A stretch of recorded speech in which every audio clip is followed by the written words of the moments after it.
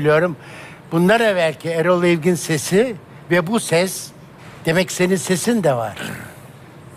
Yani Var. birkaç oktav sesin var. Seviyorum şarkı Ki söylemeyi. e, yatakta da falan söyler misin? Vallahi çok beğendim. Hiç beklemiyordum. Yani bu kadar becerebileceğini beklemiyordum. Yalnız yanındaki kızlar düşük yapmış keçi yavrusu gibi süründüler yerlerde. Hiç lüzum yoktu onlara. Ben seni tebrik ediyorum. En büyük numarayı sana vereceğim. Devamlı oradan bana bakarsan. Teşekkür ederim. Gözlerimi ayırmayacağım Seyfi Bey. Hayırlı.